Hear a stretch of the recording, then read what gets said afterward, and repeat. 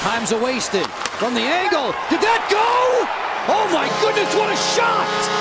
Raffl! The light is on! The officials are going to check from an absolutely remarkable angle. That may be a winning tally. I think it's definitely in. You can hear the pipe and then the meshing, Joe, and it's generally in and out. Watch this shot, sharp angle. Goalies now go down, and there it is, far side and in, Joe. And I think that's under the bar and out. And the way Raffl celebrated, he knows as a scorer, you know, it's under the under bar and out. It hits the white part of the back of the net. And to me, that's a goal, and the Caps are victorious here tonight. 1958 as you see the time ticking and you see the mesh bulging.